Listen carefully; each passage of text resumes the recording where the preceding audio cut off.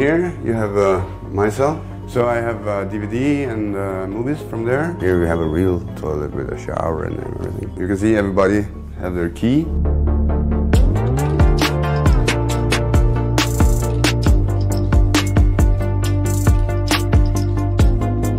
take the freedom from them, but uh, when they are here, we try to help them to get a better citizens.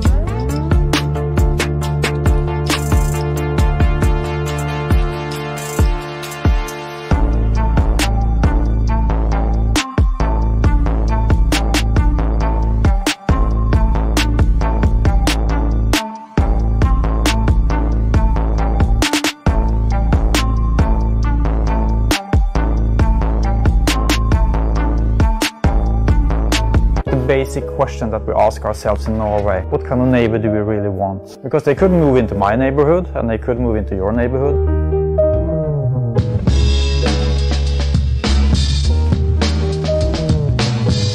It's not for, for the prisons to judge or to punish. We have to interact and be human. I think it's as simple as that.